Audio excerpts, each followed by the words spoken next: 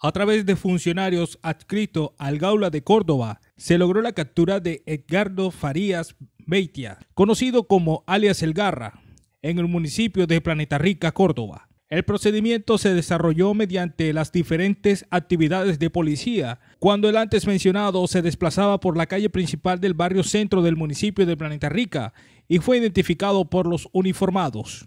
De inmediato estos hicieron efectiva la orden de captura por los delitos de concierto para delinquir agravado con fines de extorsión y homicidio que pesaba en su contra.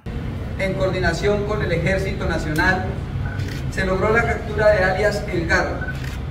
Alias El Garra, un presunto delincuente que pertenece a las autodefensas gaitanistas de Colombia, quien venía generando diferentes extorsiones a comerciantes y tenderos, con un histórico criminal de más de seis años.